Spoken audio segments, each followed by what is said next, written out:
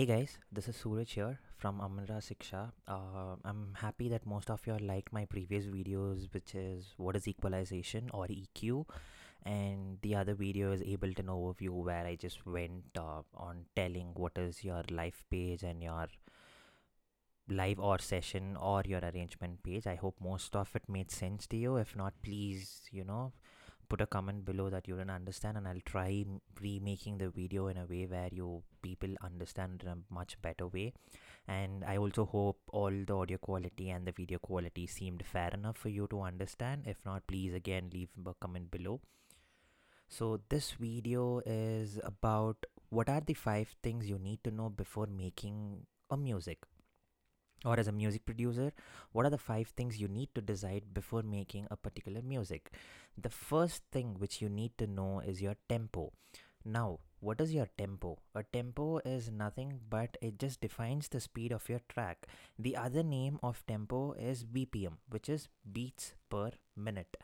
Now why do we need this tempo or why do we even use them the reason why we need tempo is because you need to define the tempo of the genre which you are producing. So, this leads to the next point. You also need to choose your genre before you start producing music. A genre could be of any any genre of your like. It could be trap, it could be hip hop, it could be progressive house, it could be electro house, you know? And all of these actually comes under edm most of the people think edm is a genre by itself. No. Edm is electronic dance music and all of these genres such as hip hop or you know uh, electro house progressive house tech house everything falls under the genre of edm most of the people do not know different sorts of genres so i've seen most of them telling i've heard trance i've heard uh, you know some sort of trance but that would not be trance that would be tech house that would be electro house so you need to get your genre basics right I will also take a class on what are the different types of genre and how do you identify them and how do you differentiate between tech house to deep house, deep house to electro house, electro house to hip hop.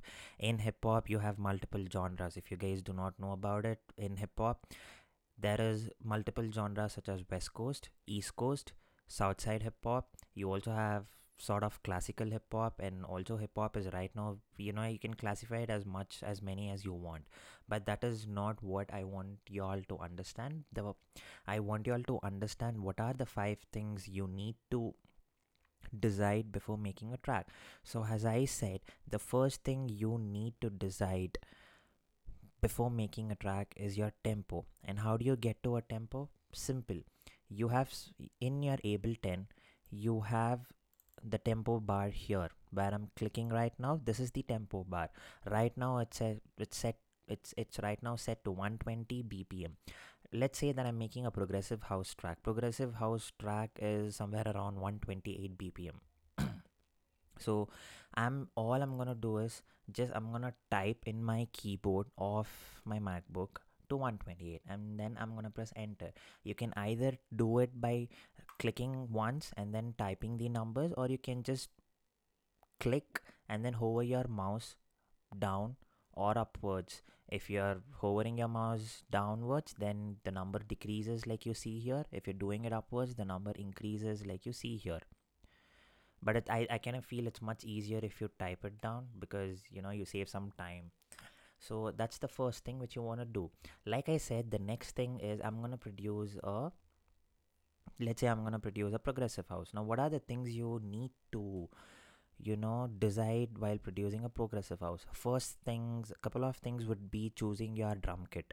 I, you would not want to choose your drum kit which sounds like a hip hop or trap beat. You would not want to choose your drum kit which sounds like a dubstep. So you need to study about what is progressive house. One of the best artists I know who produces progressive house and, and in a way he's he's a legendary of making progressive house is deadmau5. So it's d e a d m a u 5 just put this in your google search it and you will find this artist. And please do listen to his songs or the way he makes tracks. I think it's the best. It just blows you out of your you know mind. And so please listen to his tracks and understand the structure of the track which now it leads to the third point the third point is nothing but define your structure of your track before even you could start producing it so it makes much easier.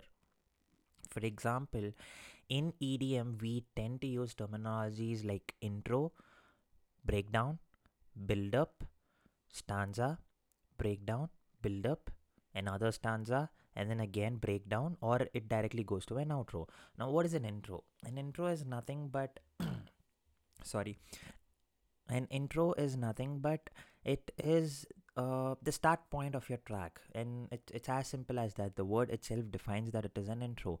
What is a breakdown? A breakdown is where you you introduce the theme of a track.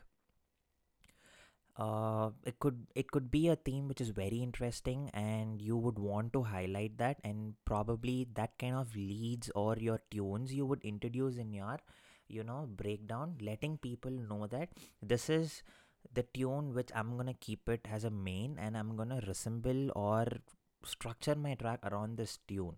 So you do better get used to this tune in my breakdown itself. So that is what you're hinting the people. Build up is where you take the track to its high you know to its energy where it meets the highest point. And this highest point is nothing but your stanza. So you first come up with the intro and then you introduce the theme of the track in your breakdown. And then you take the track from your breakdown to an you know upward energy where it meets the stanza. So while you're taking the track in an upward energy that's where you use all the snare rolls or you know hi-hat rolls and couple of other things. You also you tend to go a little higher pitch in your vocals. And then you go to the stanza. Stanza is nothing but it is the highest energy of a track would be in a stanza. The highest energy of a track would be in a stanza. And that is where all of the energy of the track comes falls into place. So you would want your audience or your listeners to make it interesting till the point of the stanza.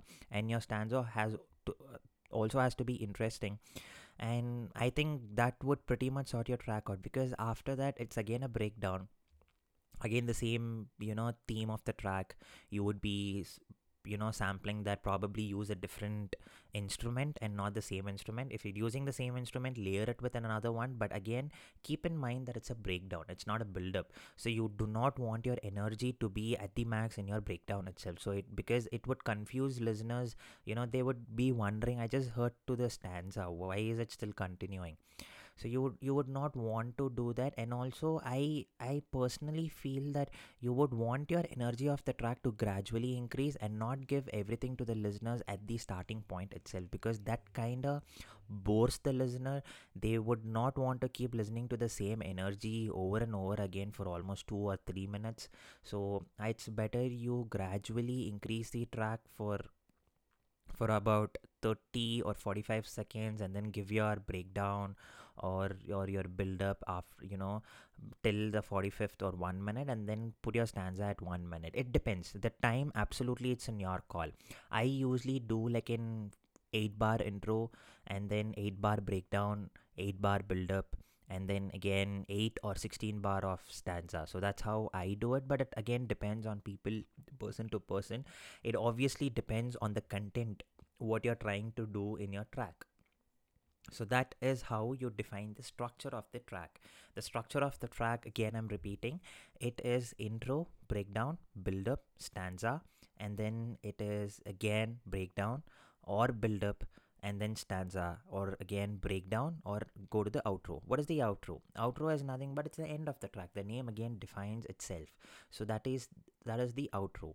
And the next thing you would want to decide is how long you want your track to be. You do not want an hip hop track to be for 6 minutes because i don't think people would want to listen the same lyrics or the same beats again and again for 6 minutes. So it's always better for you to have an hip hop track max at three and a half to four minutes i would say. Because again hip hop the beat itself is very repetitive. So the only thing you can play around or you can work around would be your leads and your rap. And i am i'm, I'm sure you do not want to give all your rap content in a single track to be like a six minute. I'm sure you want to make an album where each track is only about two and a half to three minutes so that you can at least come up with a seven track album uh, so I think that's the best idea for you to decide the track. And the next thing, what I would want you to do is, you know, I, I think this is the most important important uh, aspect of the entire track producing. Most of the people get this wrong because they are not much familiarized or they do not know how to play a piano or they don't bother the, uh, or they feel it's not that important. But it is the most important thing in your track, which is you should choose and find your scale of the track. A scale of the track is nothing but a root note for your entire track. It could be a C scale, it could be a D scale, it could be an E scale.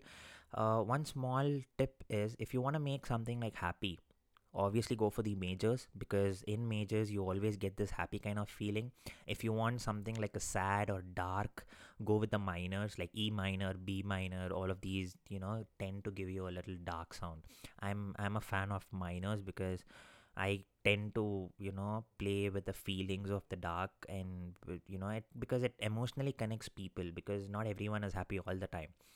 But it's the same way not everyone is happy not everyone is sad all the time but i tend to choose minors but it's again your call. So please choose the scale of the track you know which suits the content of your uh, ideas. You want to make a happy track and don't end up producing a dark vibe and don't get lost. Most of the people do this mistake. You want to produce something happy choose the right scale for a happy content and then start producing and working around it. Do not produce something which is dark and put some happy lyrics. It's never going to sound the same. So please don't do that it's like you're trying to fly an aeroplane in a railway track. That would never you know you would never want to do that. That's out of the world. Like you just don't want to try that. Being experimental is fine but this kind of experimental will not work for sure. So you want to make something happy make or find a happy scale try working it out again and again and again. And then i think that that would lead to a point where you've come up with a happy tune and then you can start working around your track like adding beats and then writing lyrics for it adding pads adding your you know chords coming up with all different sorts of elements. And i think that's about it. So i hope now you understand what are the most five important things for you to decide before coming up with a track. And i hope this made sense to y'all please you know keep all of these things in mind it is very important it is really really makes sense when you put all of these five things in your plate and then you start producing music. It works it helps a lot trust me because in experience i'm telling it does work work out. And at to a certain point you don't feel that you will you might get lost or you might not be confident enough. Please follow these five steps and i'm pretty damn sure you will not get lost or you will feel confident at least you know 10 or 20% confident something is better than nothing as far as i know. So i think you know follow these five steps start making music educate people and let's also learn together. Thank you so much. Please like subscribe and share this channel to everyone who is interested in learning music production or to make music just using a computer and a headphone. Thank you so much again. This is suraj from Amunra Shiksha thank you